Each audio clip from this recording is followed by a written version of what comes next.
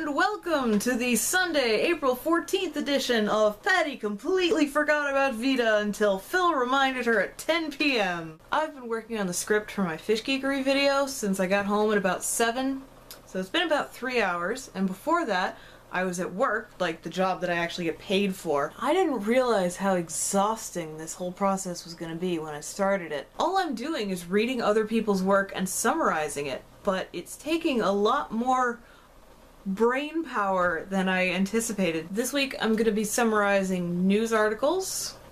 So the first problem was finding news articles. It's actually pretty difficult to find news articles about fish. Not a whole lot of people care. Which is one of the reasons I'm doing this in the first place. Phil helped me find some of the articles, which was great because I only found like one and there's really no fish mentioned in it.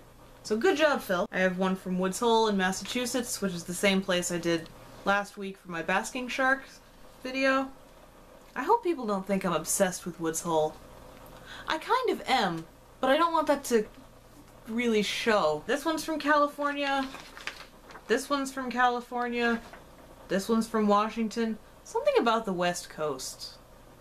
I guess the West just has more fish. Anyway, I feel like I'm back in school doing book reports where you're trying to summarize everything, and your two options are a 50 page summary that's really not summary at all, it's just rewording of the entire book, or the book was good, they lived happily ever after. I don't know how your book reports went in school, but that's how a lot of mine went. It was, I had the two options, and there was no in between, which is why I just really never did my book reports. However, no matter how tired I am, no matter how useless my brain gets, I didn't realize until I was halfway through the can that the soda I grabbed to go with dinner contains caffeine, and I'm an insomniac anyway.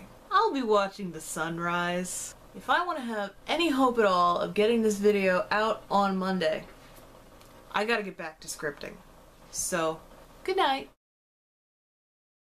Bye bye. Whoa, creepy.